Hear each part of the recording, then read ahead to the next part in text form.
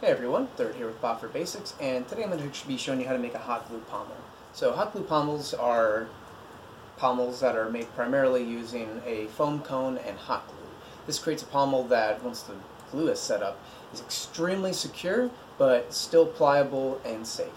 Uh, it's fairly simple to do, though a little hard to uh, figure out on uh, your own initially, but I'm going to help you out with that, and I've included a uh, link to a template in the uh, description below so you don't have to struggle through it like I did.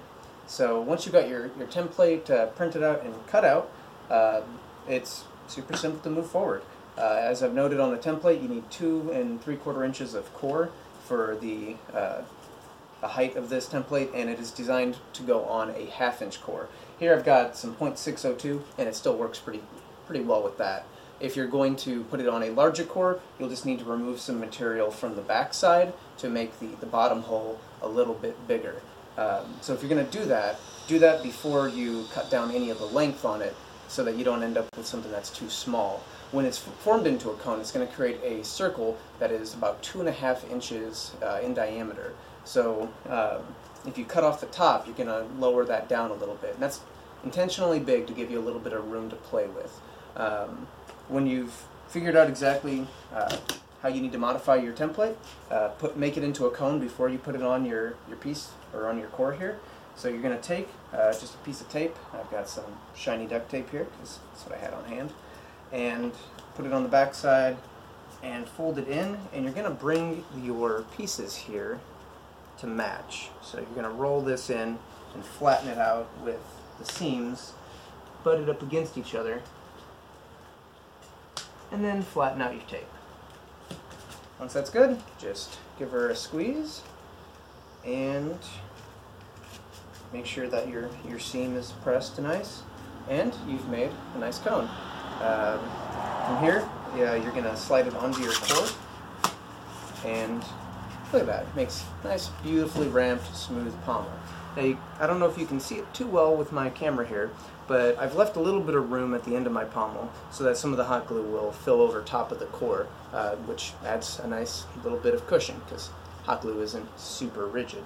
Uh, once we fill this with hot glue, we're going to put a little bit of hot glue around the edge here, and we're going to take a piece of foam. Uh, you can use uh, 4 pound, but if you want something a little bit softer, uh, use some 3 pound or just like I've got here, some 2 pound blue foam, and you're going to cap that on the end. I always make sure that my cap is about two and a quarter, two and three eighths. That way, uh, once it's on there and taped down, I know it's not going to go through a two-inch template.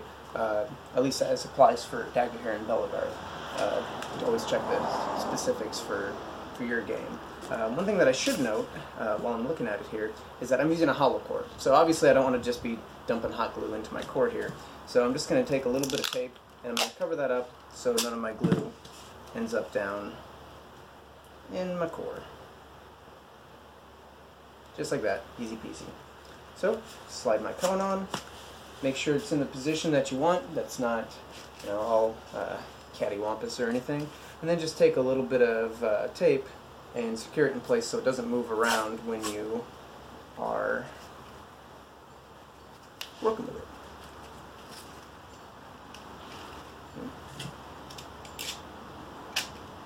There we go. Alright, so I've already got my hot glue gun heated up, just using uh, standard multi-temp uh, hot glue. Um, and I'm going to fill the entirety of this cone up until it is just above my core.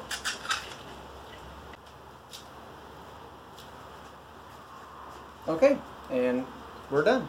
So I filled in the uh, the cone here with hot glue, which made it nice and warm, and uh, just a little bit of hot glue around the lip there, and uh, put my foam in place. So it'll just take a, a minute or two for this to set. Um, if you've somehow got any abnormalities or something, or if you want it some funky shape, uh, now's the chance for you to, to, to do that, to move it around. Uh, once the hot glue sets, this, this pommel will, will never move again. It will, it will take uh, heaven and earth to, to get the thing off your core. So bear that in mind too. Um, once it's kind of set in, which it is for us now, uh, we can go ahead and move on to wrapping it up, and that's just adding tape. So I'm just using some Howie's hockey tape, which, um, as an aside, pretty good tape, decent price. Uh, it's a bit of a pain to tear, and it tends to get pretty sticky uh, after it's been in use for a while, especially in the heat. But um, it works. So I'm just going to do some strips of this going across to secure my cap. I'm just going to do steadily overlapping pieces to make sure I get full coverage. And if you're doing this while your uh, while your hot glue still isn't set, like mine's still pretty pliable here, you want to be careful that you're not cranking down crazy hard because you're just going to end up making it, uh, you're going to end up throwing it out of, out of shape. So, just a word of caution. Be careful. Alright, just two or three more pieces ought to do it.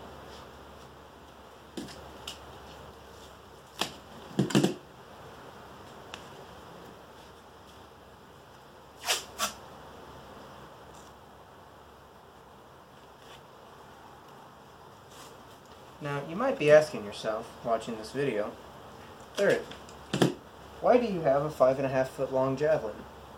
Do you really need that? And the answer to that is no. I don't need a five and a half foot long javelin. But the rules say I can make one up to seven feet, and I've never used one that's not just the standard four feet. So I figured, why not?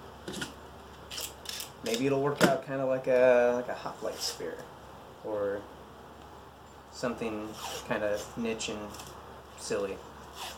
Or maybe it'll just fly like garbage and be an absolute waste. But if that's the case, I can always take a hacksaw, cut off a foot and a half of it, and have a four foot javelin, and really not be too put out for it. But we'll have that experience. And now we have it together. Fantastic. Okay, so pommels all put together, and I have a five and a half foot long javelin. Uh, go ahead and uh, put on appropriate marking tape as required by your game, and you're good to go.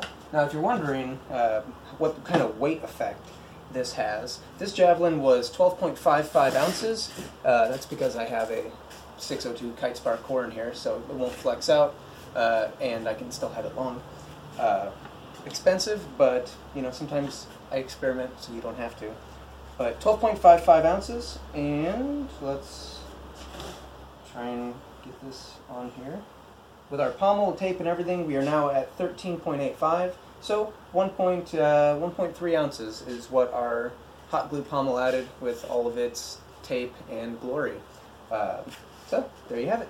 Uh, if you found this video helpful or you like it, be sure to like, subscribe. If you have any questions or comments, leave them in the comment section below. And uh, thanks for watching. Have a good one.